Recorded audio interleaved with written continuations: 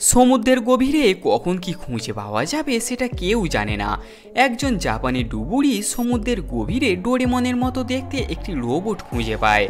জিনিসটি দেখতে একেবারে ডোরেমনের মতোই লাগছিল এবং সামুদ্রিক শ্যাওলা দ্বারা জিনিসটি আবরিত হয়ে গিয়েছিল। উনিশশো তিরানব্বইয়ে ডোরেমনের একটি মুভি রিলিজ হয়েছিল, নবিতা অ্যান্ড দ্য লেভারেঞ্জ ট্যুর। সেই সিনেমাটিতে এমনই কিছু দৃশ্য দেখানো হয়েছিল। সেই সিনেমায় ডোরেমন সমুদ্রের গভীরে চলে যায় এই যে আপনি ছবিটি দেখতে পাচ্ছেন, সমুদ্রের নিচে ডোরেমনের মতো দেখতে একটি স্ট্যাচু, সত্যিই কি এটি আসল ডোরেমনের মূর্তি? আর যদি নাই হয়, তাহলে ডোরেমনের স্ট্যাচুটির আসল রহস্যটা কি? এর পিছনে আসল কি সত্য লুকিয়ে রয়েছে? এই সমস্ত কিছু সিক্রেট আপনারা আজকের ভিডিওতে জানবেন। শুধু তাই না, সেই সাথে আরও অনেক কিছু রহস্য উন্মোচন করব, যেগুলি দেখে আপনার ছেলেবেলার সমস্ত স্মৃতি মনে পড়ে যাবে। তো চলুন আবারও একবার ঘুরে আসা যাক। ছেলেবেলার সেই ডোরেমনের দুনিয়া থেকে কারণ কিছু কিছু জিনিস চাইলেও আমি কিংবা আপনি ভুলে যেতে পারব না। দু হাজার বাইশে টুইটারে একটি পোস্ট করা হয়। পোস্টটি দেখে আপনি বুঝে গিয়েছেন এটি ডোরেমনের স্ট্যাচু রিলেটেড কোনো ফটো। এই পোস্টটিতে সমস্ত কিছুই জাপানি ভাষায় লেখা ছিল। চলুন এটিকে ট্রান্সলেট করে দেখে নেওয়া যাক আদতে এই পোস্টটিতে কী লেখা ছিল। আসলে এই পোস্টটিতে স্পষ্টভাবে লেখা ছিল, সমুদ্রের গভীরে এক ডুবুরি ডোরেমনের মতো দেখতে একটি স্ট্যাচু পায়। প্রথমে ওই ব্যক্তি মনে করেছিল এটা হয়তো কোনো খেলনা, যেটা হয়তো কোনো সময়ে সমুদ্রের জলে কেউ ফেলে গিয়েছে। কিন্তু যখন বালিতে অর্ধেক গিতে থাকা ডোরেমনের স্ট্যাচুটি তোলার চেষ্টা করা হয়, তখন সে বুঝতে পারে যে এটা বাচ্চাদের কোনো খেলার জিনিস না। এই ডোরেমনের মূর্তিটি সম্পূর্ণ মেটেলের তৈরি, একেবারে কোনো রোবটের মতো। কিন্তু ওই ব্যক্তি মূর্তিটিকে ওখানেই ছেড়ে দেয়। কেননা সেটিকে বাইরে থেকে বের করা তার সাধ্যের বাইরে ছিল। এরপর ওখান থেকে সে ফিরে এসে ডোরেমনের সমস্ত ফটোগুলি সোশ্যাল মিডিয়ায় পোস্ট করে, যা রাতারাতি গোটা পৃথিবীতে ভাইরাল হয়ে যায়। জানা যায় এটি ছিল ডোরেমনের রোবটের স্ট্যাচু, যেটার আনুমানিক বয়স সাড়ে চারশো বছর। এরপর সমুদ্র থেকে রোবটটি উদ্ধার করে জাপানের এক ল্যাবে পাঠানো হয়। কিন্তু সেখানে পরীক্ষা নিরীক্ষা করার পর জানা যায়, রোবটটিতে যে টেকনোলজি বিদ্যমান ছিল, তা আধুনিক যুগের টেকনোলজির থেকে বহুগুণ উন্নত। কিন্তু এই রোবটটিতে যে ডেট ছিল, তা সাড়ে চারশো বছর আগের। মানে এটি টাইম ট্রাভেলের একটি জীবন্ত উদাহরণ। আপনি যদি এই স্ট্যাচুর ব্যাপারে গুগলে সার্চ করেন, তবে এই সমস্ত অদ্ভুত ব্যাপারগুলি জানতে পারবেন। কিন্তু বহু ডিপ রিসার্চ করার পরে আমি জানতে পেরেছি, এই সমস্ত তথ্যগুলোই সম্পূর্ণ ফেক। হ্যাঁ ডুবুরিরা ডোরেমনের মতো দেখতে একটি মূর্তি পেয়েছিল, আর সেটি এটিই ছিল, যেটি আপনি এই মুহূর্তে স্ক্রিনেতে দেখতে পাচ্ছেন, এবং এটি মেটেলেরই তৈরি ছিল, কারণ স্ট্যাচুটিকে জেমান্ড পার্কের জন্য বানানো হয়েছিল, আর ওই পার্কটি ডোরেমনের থিমের ওপর বেস করে নির্মাণ করা হয়েছিল। আপনাকে এও জানিয়ে রাখি, এই স্ট্যাচুটিকে জাপানের কোনো ল্যাবেতে কার্বন ডেটিং করাই হয়নি। জানলে আরও অবাক হবেন, এটি সাড়ে চারশো বছর আগের পুরনো কোনো রোবটই নয়, বরং চার বছর আগের ওই পার্কে তৈরি ধাতব মূর্তি ছিল। কিন্তু একটি জিনিস এখানে এখনও রহস্যই হয়ে রয়েছে যে, ডোরেমনের এই রোবটটি সমুদ্রের গভীরে কীভাবে পৌঁছে গেল? এ ব্যাপারে তো কোনো রহস্য উন্মোচনই হয়নি। কিন্তু ভবিষ্যতে যদি এর রহস্য উদ্ঘাটন হয়, তবে নিশ্চয়ই আরও একটি ভিডিও বানিয়ে আপনাদেরকে জানাব। এটি তো ছিল কেবলমাত্র ডোরেমনের একটি কনস্প্যারেসি কিন্তু এবার কথা বলা যাক টেরু টেরু বোঝাকে নিয়ে। এখন আপনি নিশ্চয়ই ভাবছেন এই টেরু টেরু বোঝা আবার কে? ডোরেমন, সিনচ্যান এবং নিনজা হাতুড়ির পরে জানালার কাছে থাকা এই পুতুলটি আপনি নিশ্চয়ই দেখেছেন। কিন্তু আপনার মনে কি কখনো প্রশ্ন জেগেছে?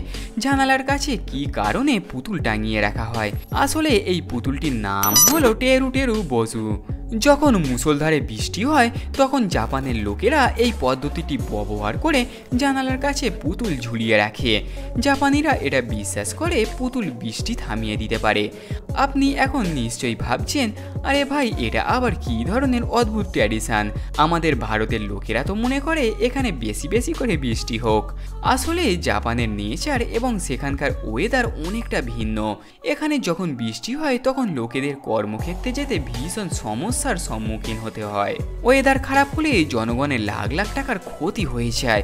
আর এজন্য বৃষ্টিকে প্রতিরোধ করতে এবং আবহাওয়া সুন্দর করতে এই ধরনের ট্র্যাডিশন জাপানে খুবই জনপ্রিয়। ভাই, এই টেরু টেরু বজু বৃষ্টি থামাতে কতটা সফল হবে তা বলা মুশকিল। কিন্তু এই পুতুলটি যদি ভারতীয়দের হাতে পড়ে যায়, তাহলে এর দ্বারা ভূতের ভয় দেখানো হান্ড্রেড পার্সেন্ট সফল হবে। চলুন, এবার আপনাকে বলি ক্রেপি থিওরি রিলেটেড একটি ডোরেমনের কথা। এই থিওরি অনুসারে ডোরেমন রিয়েল ছিল না, বরং নবিতার ইমাজিনেশন ছিল। নবিতা এমন একজন একাকী ছেলে ছিল যার কোনো রকম বন্ধুই ছিল না। সে সিজোফ্রোবিয়া নামের একটি রোগে আক্রান্ত ছিল আর নবিতা এই রোগের কারণে নিজেকে একাকিত্ব থেকে দূরে রাখার জন্য ডোরেমনের মতো একটি ক্যারেক্টারকে ইমাজিনেশন করত, যেটি তার সমস্ত ইচ্ছা অ্যাডভান্স গ্যাজেটের মাধ্যমে পূরণ করতে পারত। বহু লোক এটাও দাবি করে নবিতার যে ক্যারেক্টার, তার রিয়েল লাইফ কোনো মানুষের থেকে ইন্সপায়ার করে বানানো। জাপানে এমন কোনো ব্যক্তি ছিল যে ডোরেমনের মতো ইমাজিনেশন করতে পারত। কিন্তু পরে সেই লোকটির সাথে খুব খারাপ হয়। যখন সে অনুভব করতে পারে, ডোরেমন কেবল তার ইমাজিনেশন বাকি আর কিছুই নয়। আর এই নবিতা আর ডোরেমনের যে কাহিনী, তা রিয়েল লাইফ থেকে ইন্সপায়ার্ড নয়, বরং সম্পূর্ণ কল্পনা মাত্র। কিন্তু হ্যাঁ এই কাহিনীর শেষটা খুবই দুঃখজনক। যদি আপনি না জেনে থাকেন ডোরেমনের কাহিনীর শেষে কি ছিল, তো আপনাকে জানিয়ে রাখি, ডোরেমন ভবিষ্যৎ থেকে আসা একটি রোবট ছিল। এটা তো আপনারা সবাই জানেন এবং নবিতাকে সাহায্য করার জন্য তাকে পাঠানো হয়েছিল। কিন্তু একটা সময়ের পরে ডোরেমনের ব্যাটারি ডাউন হয়ে যায়। এবার ডোরেমন ছাড়া নবিতার তো কোনো কাজই সম্ভব ছিল না। তাই নবিতা কোথা থেকে জানতে পারে ডোরেমনের ব্যাটারি যদি বদলে দেওয়া যায়, তাহলে ডোরেমনের সিস্টেম রিসেট হয়ে যাবে। সেই সাথে হয়তো সে নবিতাকে ভুলেও যেতে পারে। এটা ভেবেই নবিতার হোশ উড়ে যায় এবং তারপর সে ঠিক করে, এবার থেকে সে শুধু লেখাপড়ায় মন দেবে এবং নিজেকে একজন সায়েন্টিস্ট গড়ে তুলবে, যাতে সে ডোরেমনকে ফের জাগিয়ে তুলতে পারে। অবশেষে বহু বছর পর নবিতা যখন সায়েন্টিস্ট হয়ে যায়, তখন সে এমন এক উপায় বের করে, যার দ্বারা সত্যিই ডোরেমনকে ফিরিয়ে আনা যাবে। এবং সেটাই হয় যেটা নবিতা চেয়েছিল। সেই সাথে ডোরেমনের কোনো রকম মেমোরি রিসেটও হয়নি। ডোরেমন নবিতাকে ভুলেও যায়নি এবং এগুলি যতক্ষণে হয়, তার মধ্যে নবিতা অনেক বড় হয়ে গিয়েছে এবং সুজুকার সাথে তার বিয়েও হয়ে গিয়েছে। ডোরেমনের যখন হোশ ফিরে আসে, সে মনে করেছিল নবিতা হয়তো এখনও বাচ্চাই রয়েছে। কিন্তু ডোরেমন যখন নবিতা আর সুজুকাকে একসঙ্গে দেখে তখন সেই মুহূর্তটি কাহিনীর সব থেকে ইমোশনাল মুমেন্টস ছিল। আক্ষরিক আমি ভাবছি এই ধরনের কার্টুন যারা বানায়, তারা এমন ধরনের আশ্চর্যজনক ধারণাগুলি কীভাবে নিয়ে আসে? যখন কথা হচ্ছে ক্রেপি থিওরি নিয়ে, তখন চলুন আরও একটি ক্রেপি থিওরির কথা আপনাদেরকে শোনাই। কারেজ দ্য ক্রাউড এটি এমন একটি কার্টুন ছিল যেটা আমার খুবই প্রিয় ছিল। আপনার পছন্দ ছিল কি না তা কমেন্ট করে জানাতে পারেন। এই কার্টুনটিতে আপনি লক্ষ্য করলেই বুঝতে পারবেন, যখনই কোনো মনস্টার আসতো তখনই গ্লোমি নামের যে হাজব্যান্ড ছিল সে ভয় পেত না। তবে কারেজ নামের যে কুকুরটি ছিল সে খুবই ভয় পেত। আর এর পিছনের থিওরি ছিল কারেজ যে বাড়িতে থাকতো সেটা লোকালিটি থেকে বহু দূরে শুনশান একটা এলাকায়। তাই সে বাড়ি থেকে বেশি দূরে যেত না। কারেজ শুধু এটা জানতো যে এই দুনিয়ায় সে এবং তার মালিক রয়েছে, আর কেউ নেই। মানে মারিড এবং তার হাজবেন্ড আর তারা দুজন ছাড়া যদি অন্য কেউ তাদের বাড়ির আশেপাশে এসে পড়তো, তাহলে কারেজ তাকে মনস্টার মনে করত। সে এটা ভাবতো, হয়তো সে আমাদের কোনো ক্ষতি করবে। তাছাড়া কার্টুনে যে দানব দেখানো হতো, সেটা কারেজের দৃষ্টিতেই দেখানো হতো। মানে কারেজ সেগুলিকে কেমনভাবে অনুভব করছে? যদিও সেই সিনগুলিকে খুবই ভয়ঙ্করভাবে দেখানো হতো না। কিন্তু কারেজ এমন ঘটনাগুলি দেখেই ভয় পেয়ে যেত। কারণ মালিকদের ছাড়া সে যে আর কাউকেই আগে দেখেনি। মানে চিন্তা করুন, বাচ্চাদের একটা ছোট্ট কার্টুন, তারই মাঝে কতটা গভীর চিন্তা ভাবনা রয়েছে। এমনিতে আমাদের এই চ্যানেলে আপনি অ্যানিমেলস রিলেটেড ভিডিওই বেশি দেখতে পান। কিন্তু ভাবলাম কেমন হবে যদি ছেলেবেলার দিনগুলিতে একবার ফিরে যাওয়া যায়, তাই এই ভিডিওটি আপনাদের জন্য নিয়ে এসেছি। বন্ধুরা, ভিডিও তো আপনার অনেক ভালো লেগেছে। কিন্তু সেই সাথে যদি কিছু এক্সট্রা সাইড ইনকাম অর্থাৎ পকেট মানি হতো, তাহলে কেমন হতো?